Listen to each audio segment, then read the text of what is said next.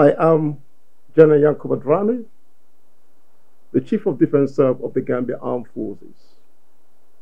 It is with distinct honor and this sense of privilege that I join the long queue of well-wishers on this auspicious occasion marking the International Day of the United Nations Peacekeepers to acknowledge and commend the exceptional sacrifice, courage, perseverance, and selfless service of our great men and women in uniform, and equally to acknowledge the exceptional performance of our brothers and sisters out of uniform under the umbrella of the United Nations as they undertake a very noble and worthwhile mission in the cause of humanity.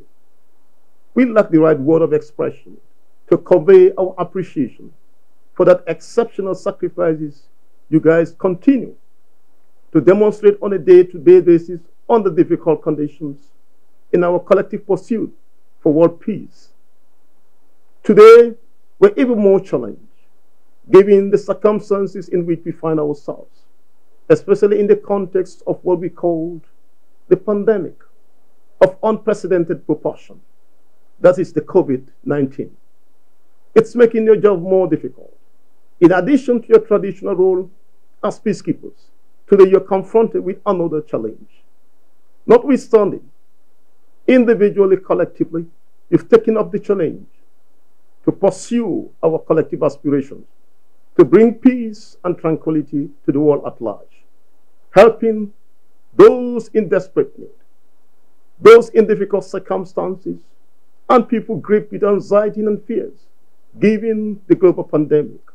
In addition, you take the risk, sacrifice all you could in the pursuance of international peace and tranquility.